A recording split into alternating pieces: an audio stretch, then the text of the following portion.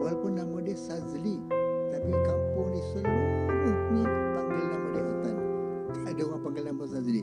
Kalau panggil Atan anak Jamali Sadat memang tak ada lah orang lain. Itulah dia. Okey.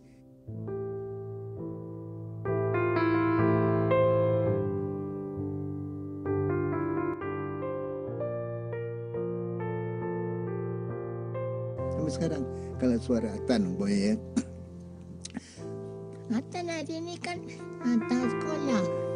Lepas demam. Semalam kan Atan pergi mandi kat sungai. Kesel semua demam pergi kat klinik dapat cuti dua hari. Itu suara Atan. Kan?